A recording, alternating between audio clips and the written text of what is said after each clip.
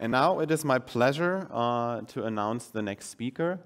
Uh, it's Dr. Tina Schlingmann. Uh, she's Regional Director, Europe, Middle East, and Africa at EOS. And the next presentation will be about 3D printing. Uh, unfortunately, uh, Dr. Schlingmann was not available to come here on short notice, but uh, we, we will try to have her here virtual with us now. Um, Dr. Schlingmann, are you already here with us? Can you hear me? Yes, I Perfect. can hear you, and I hope you can also hear me. Yes, we can hear you very well. Thank you very Perfect. much for making this possible and joining, joining online. Uh, you're looking at the audience, smiling at the audience. Everyone is anxious and excited to, to hear your presentation, and uh, the stage is yours. Yeah, thank you very much for that uh, kind introduction. And uh, sorry that I'm not joining. Maybe you hear it a bit. I had a very bad cold, and uh, so uh, I avoid traveling. Um, but yeah, I will uh, show you my presentation now uh, online and um, share my screen with you.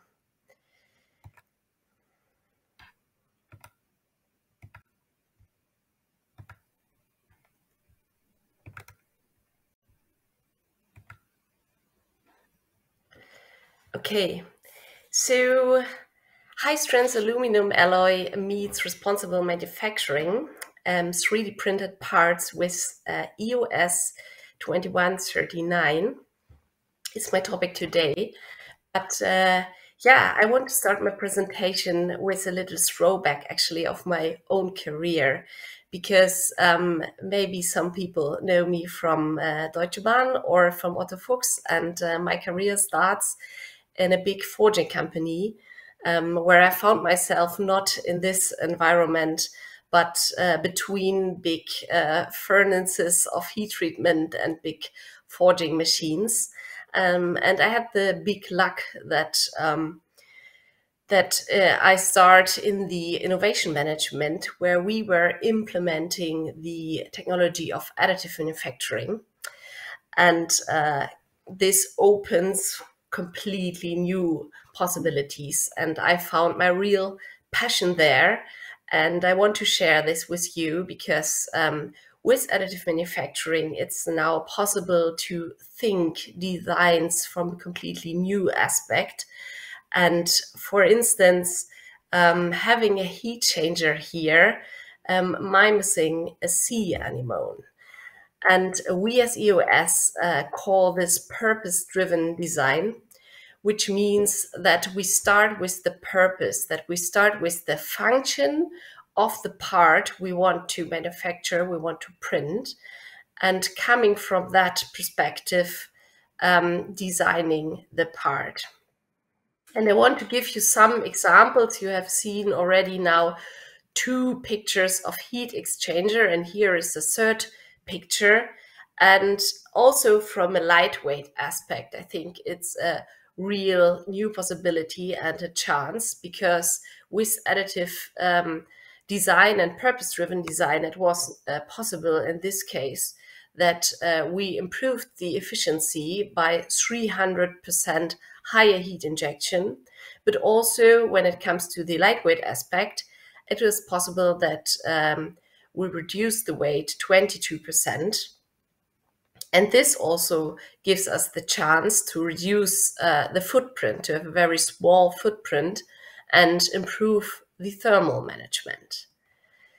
And I want to continue with some more examples, with some more applications. So here, for instance, a heat injection head for the Ariane um, mission critical class one component. And um, we uh, with additive manufacturing and our purpose-driven design, we could reduce um, the conventional manufactured part with 248 parts to a single part, and that was, uh, or because of this, um, we could uh, reduce the weight by 25% and also um, reduce the production cost by 50%.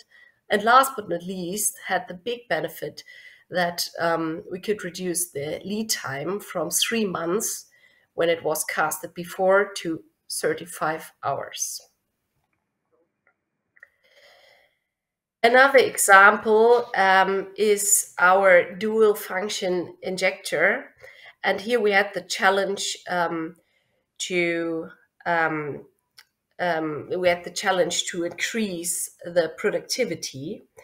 Um, and it has some interesting features also from a sustainability perspective. So in use, um, this copper inductor needs about 60% lower energy. And that's good for your electricity bill, of course, but also for the environment. And it has a higher productivity, up to two and a half times lower service life, and therefore higher productivity. And uh, when I was talking now about um, purpose driven design, um, I want to change a bit the perspective, um, which um, um, which is now another perspective when it comes to customization, because this is also one yeah one view you can have on additive manufacturing. And I want to share this impressive example with you for for an implement for the hat. So here it was possible that we could print this having the CAT scan already by the um, operation at the hat. And by printing this part, and of course this customized part, it was possible to reduce scrap and waste due to um, the demand production. And Again, another perspective on additive manufacturing is on-demand and decentralized production, which brings me also a bit into the history of my own career before I was working three years for the German railways. And there we had exactly this topic. And also this topic is um, known from Daimler buses.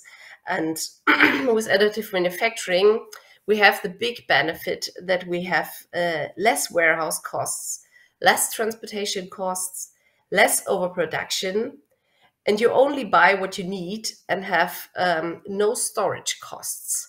So I think this is from a lot of um, aspects a really um, interesting point of view. But when I show you now all these um, very beautiful and expressive examples, and we think a step ahead and want to industrialize this all and see this as our new way to manufacture things, um, then I think there is one aspect you really need to take into consideration.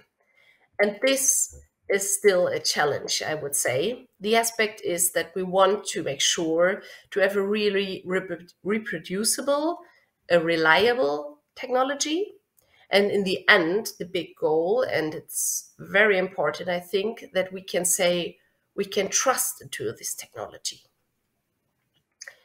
And for this, and uh, I know that on the LightCon is uh, Stefanie Brickwede and uh, Cora Lüders-Teuerkauf, and uh, they both have uh, presentations. Um, so because of this topic, uh, we together at Mobility Goes Additive at MGA um, we said, okay, we're facing this challenge. Um, and I think you might have seen this slide already. So for all those ones who haven't seen the slide, just to give you a very quick overview, who is joining this uh, leading international network. We have uh, the users, we have the service providers, we have um, universities, we have machine uh, suppliers, so also EOS, of course, um, we have consultancies, we have IT companies, but also uh, companies producing um, materials. And out of those uh, group, we are working in working groups, and I have initiated uh, four years ago the biggest working group in Mobility Goes Additive, which is uh, materials. And together materials, um, we faced this challenging I was talking before about, and said, okay, how can we understand how reproducible and how reliable is our technology?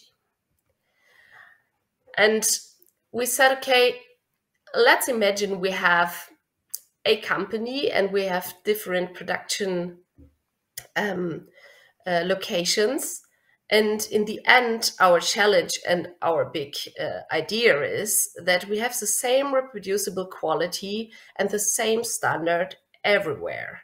And we did a kind of, let's say, simulation in the group um, and said, okay, we, or maybe one slide back, um, on the, in the left-hand side of the slide, you can see the companies who were joining um, this uh, test and we said, okay, we do a round robin test together. So what have we done? We were sitting a couple of years on a big table. I know it was at uh, Volkswagen at those times. And uh, we defined together an alloy, which is uh, AlSi10Mg. And we defined parameters. We defined together the STL files we want to print we manufactured our specimens and then uh, we did the testings, fatigue testings, and further examinations at GKN at those times. And of course, we evaluate afterwards uh, the results and shared it. And today I want to share some results or some insights with you. So uh, on the left-hand side, again, you see the companies who were taking part in this um, in this test, and we um, manufactured in total four, 420 fatigue specimens and 70 testing specimens. And also, we were forging, by the way, some specimens, well knowing that we will have completely different results here. And did a lot of other examinations, like measuring the roughness or the part chemistry or the particle size distribution, and so on. And um, yeah, it's we have so many results now, and uh, you can also buy them as a study at MGA, by the way. But today I give you just uh, an idea and to make you a bit curious. Um, because I'm really proud and I think it's really impressive what we've done here.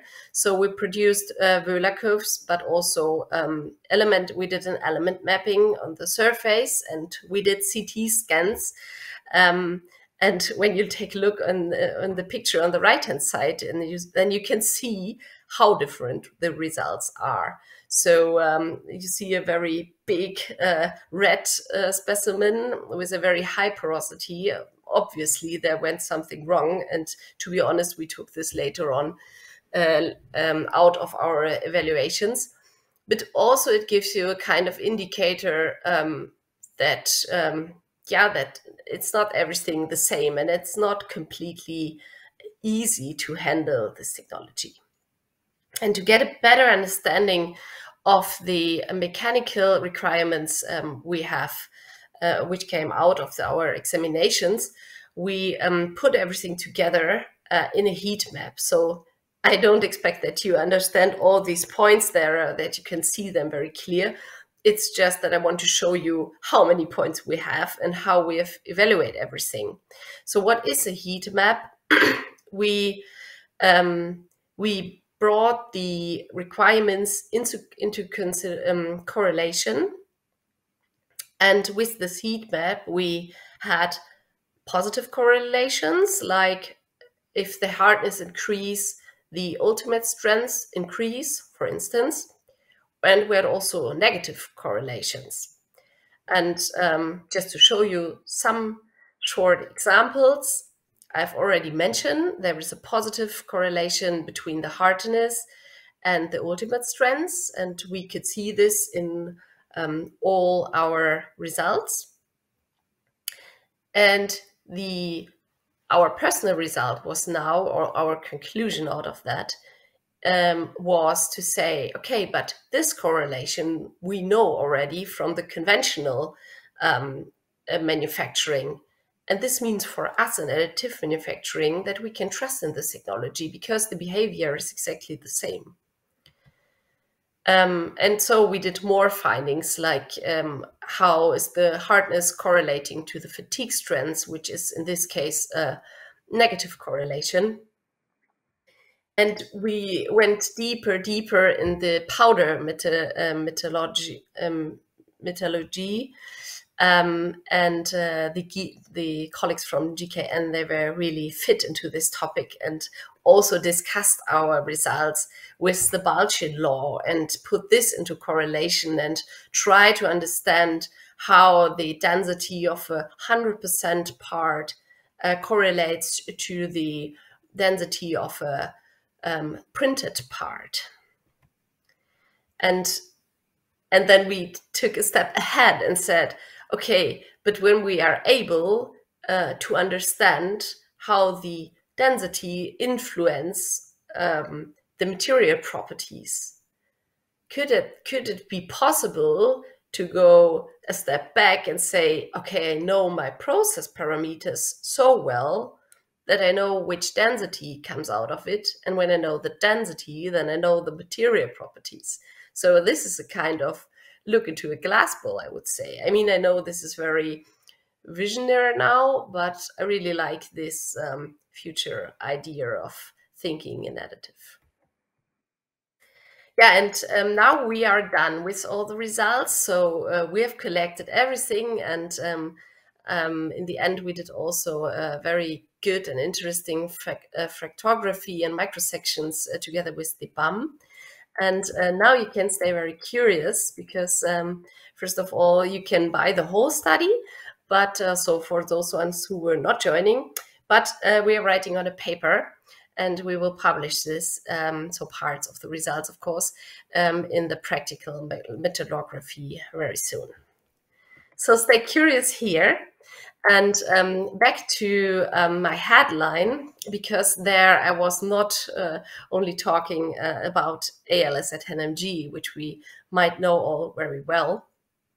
Um, I was also talking about a new alloy from EOS, which is the 2139. So we have, of course, a lot of different materials.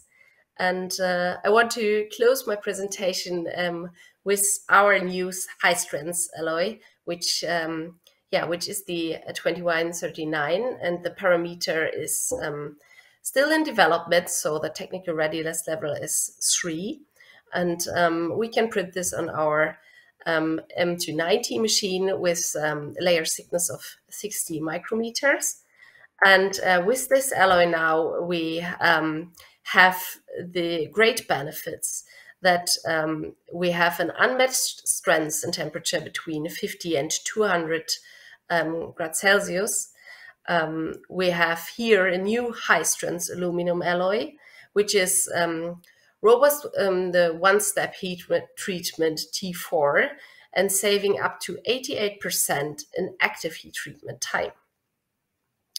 And the parts out of this alloy can be also electropolised and anodized.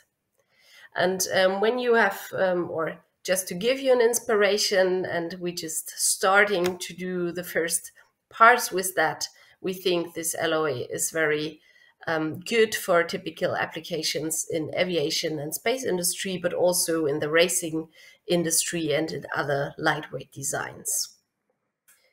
And yeah, to give you a, in my last slide a feeling um, to well-known um, alloys in lightweight, like for instance the Scalmalloy, then I can tell you that we have here now developed a higher strength and higher productivity and more affordable powder. And um, also um, the strength is comparable in room temperature to the wrought alloy, uh, 7075, which I think is really impressive. And uh, with this, I want to close my presentation. And uh, yeah, sorry that I cannot join in person. and uh, yeah, I would stop, start my uh, sharing my screen again that you can see me virtually. Perfect. Dr. Schlingmann, thank you. Thank you very much uh, for this very interesting presentation showing your advancements in printing with uh, uh, high strength aluminum alloys. Uh, to, I personally have an have a 3D printing background. I was fortunate to work uh, intensely with 3D printing during my PhD work. So it's very always very amazing for me to see the advancements. Um, uh, thank you very much for that. Are there any questions? We maybe have we maybe have time for one question from the audience. Are there any questions? Well, I do have one, so I take it. I can take it. Um, uh, it was astonishing for me to see your initial, your initial. Uh, can you hear me? Yes. Now I can hear you again. I was uh, gone for a short. Oh, moment. okay. So well, basically, I summarized and and and laudated your presentation. I really liked it because my personal background is also 3D printing and additive manufacturing from my PhD work. So so and and I'm allowed to to, to answer the question uh, because.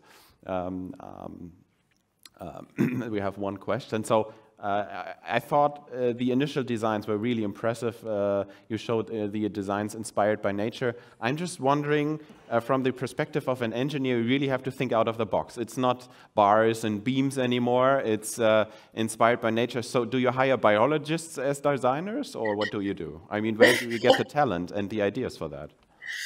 Yeah, to be honest, this is a really um, this is really a point, and I think this is also to talk a bit general um, in the branch, this is really the point where we need all to start to enable the people and um, to help the engineers to open the minds and start thinking like this. And I know exactly this from uh, from my first uh, job because all um, very good engineers were thinking in uh, forgings and they were thinking in, uh, but you cannot produce a part with a hole inside, for instance. And they were far away from this um, biological uh, ideas. And um, we can help with our additive minds, I can say, because there we have a, a consultant group um, which helps the companies where we are implementing the technology um, to start thinking and to open the minds. Um, but I think this is really a point where, yeah, where we all need to grow. Perfect. Thank you very much for your presentation. Thanks again for joining in. Please get better Thank soon. You. And um, um, uh, just to let you know and let the audience know, since you're not here, if there are any, any further questions to Dr. Schlingmann, please join us at the Composites United booth. We will take them for you and forward them Thank to you. you. later on. And um, thanks again. Uh, get better and bye-bye. Thank you. Bye-bye.